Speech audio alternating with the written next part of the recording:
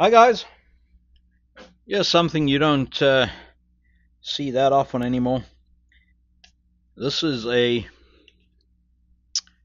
STI GP6.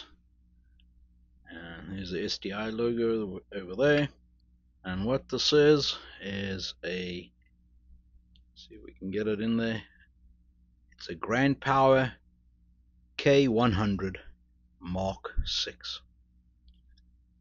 So this was uh, manufactured or made in uh, Slovakia or the Slovak uh, Republic, and uh, I think the design was in 1992, and was a big hit at the time. Everybody looked forward to it. Um, I believe they still manufactured. I see on the internet there is a Grand Power USA, and they still bring them in.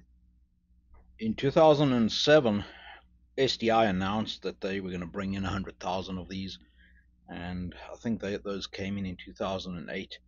And there were several several uh, magazine reviews in 2009, etc. on uh, on these pistols. What really makes it unique is is the the lockup. It's got a rotating barrel, similar to a Beretta PX4. The pistol is also completely ambidextrous, so we got a safety on either side. Um, it's got a little detent right there that uh, kind of clicks on and off, but it's very easy to come on, uh, on and off. Also, it doesn't have a big paddle, so it, it's for those of you who shoot with a thumb on the safety, it's not possible. There's no ledge there. Uh, also, the slide release ambidextrous on either side and the mag release so the mag release is you don't have to swap the mag catch around. It locks into uh, into that notch. Looks like the mag is used somewhere else for something else because there's also that notch there. Looks very similar to a CZ75 mag but it doesn't lock in.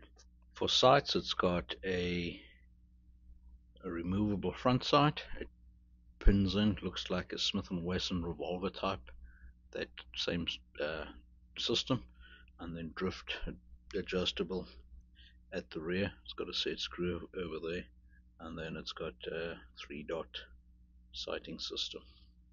Hammer fired, plastic trigger, plastic safety, serrations up front, serrations in the rear see Grand Power on the website. They list uh, essentially the same pistol is still listed. Uh, this is an old one. This is the STI one from the 2007 8 uh, import. Currently, they even make a striker fired one with no safeties. The trigger pull on it is really nice. It's got a short uptake and then a very uh, crisp release and then very short reset double action long not really hard but smooth. The takedown procedure is a bit weird on it. It's kind of like a Makarov or a Walther PPK you got to push forward on the trigger guard to get it out there and then lift it out lift up on it until it sits on the frame like that. Then you got to pull all the way back, lift up at the back, and come forward off the uh, off the frame. It's got a captive guide recoil spring, captive guide rod. That guide rod's held in by that pin, which is the slide release pin. And it's got like a chassis inside, like a um, like a fire control unit nearly. And I'm not sure if it does pull out like that, I doubt it. And uh, it's got a pin over there. Probably have to pull the slide stop out to get all of that out. And there's a pin there. And there's a big roller over there, and we'll get to that in a minute. The barrel is the weirdest setup you've seen. It's got this round locking lug and it's got this funny angled surface. Now, unlike the Beretta, which has got a cam track on the on the barrel and then a, a, a pin on the locking block that interacts with that cam track which rotates the barrel. It's this surface that rotates the barrel, so that surface rides on that roller. So it uh, it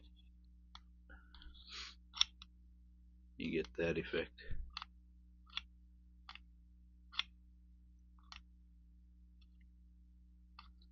So it's locked up there on the that lug is facing the top. The slide and the barrel move back together while the barrel's rotating and then the flat surface is on top which means it can get out of that locking uh, lug there there's a, a recessed area there and when it's there and the barrel has come to the rear, most rearward position and then the slide will run back. Coming forward it will uh, pick up the barrel and rotate and that that will turn back into that lug. That's how it works. Really a, a weird way of doing it and a funny looking uh, looking barrel. On the slide it does appear there's a firing pin block right over there the firing pin block interacts with that. If you watch that, you'll see that will move up when I pull the trigger ever so slightly.